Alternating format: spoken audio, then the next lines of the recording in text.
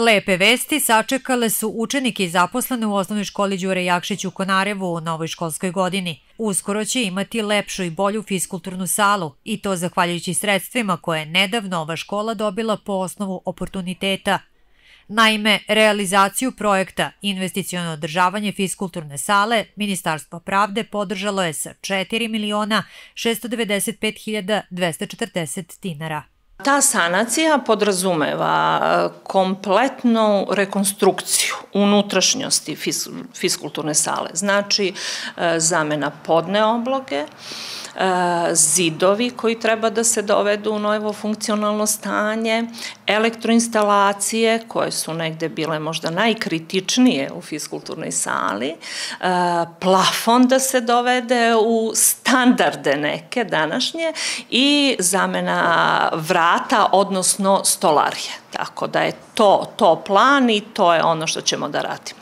Ovaj objekat izgrađen je kada i škola, s kraja 50. odnosno početkom 60. godina prošlog veka i to dobrovoljnim radom meštana.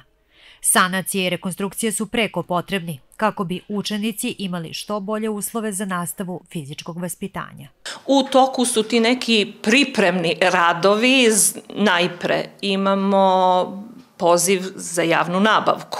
Dakle, trenutno pripremamo konkursnu dokumentaciju, e, procedura sprovođenja javne nabavke, nakon toga ide izbor e, ponuđača, odnosno onoga ko će raditi na fiskulturnoj sali, a potom krećemo sa radovima. E, svakako planirano je da to bude završeno u kalendarskoj godini i nadamo se da ćemo to uspeti da realizujemo znatno ranije.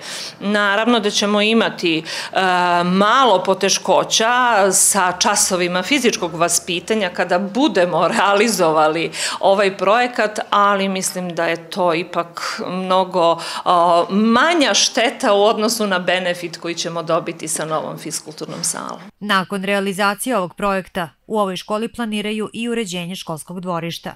Imamo zaista dosta prostora, nešto smo ranije uspeli da sredimo, ali imamo jedan lep projekat za sređivanje a, rukometnog terena i to je ono što je sledeće na redu. Osnovna škola Đure Jakšić ima i izdvojeno odeljenje u Bogutovcu, Matarugama i Lopatnici.